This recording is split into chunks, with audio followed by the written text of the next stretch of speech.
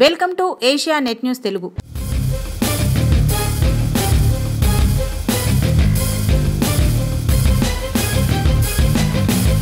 బంగాళాఖాతంలో తీవ్ర వాయుగుండం ప్రభావంతో రెండు రోజులుగా ఎడతెరిపి లేకుండా కురుస్తున్న వర్షాలకు విశాఖ నగరం అతలాకుతలం అవుతోంది. తీరం వెంబడి బలమైన గాలులు వీస్తున్నాయి. ఈ క్రమంలోనే విశాఖ తెన్నేటి పార్క్ తీరానికి ఓ భారీ నౌక కొట్టుకునొచ్చింది.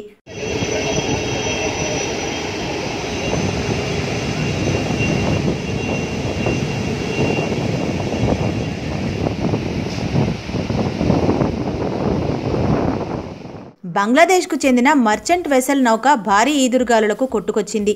గాలి తీవ్రత ఎక్కువగా ఉండడంతో ప్రతికూల పరిస్థితుల్లో ఒడ్డుకు చేరుకున్న ఎనభై మీటర్ల పొడవాటి నౌక పార్క్ సమీపంలోని రాళ్ళల్లో చిక్కుకుంది. అర్ధరాత్రి సమయంలో ఇసుక తిన్నెల మధ్య చిక్కుకోగా నౌకలోని సిబ్బంది సురక్షితంగా బయటపడ్డారు.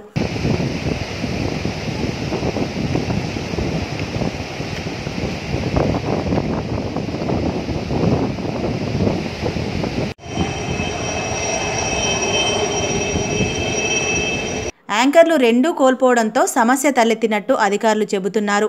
విషయం తెలుసుకున్న నేవీ అధికారులు పోలీసులు ఘటనాస్థలికి చేరుకుని నౌకను బయటికి తీసేందుకు ప్రయత్నిస్తున్నారు. మరోవైపు నౌకను చూసేందుకు స్థానికులు పెద్ద ఎత్తున తీరానికి చేరుకుంటున్నారు.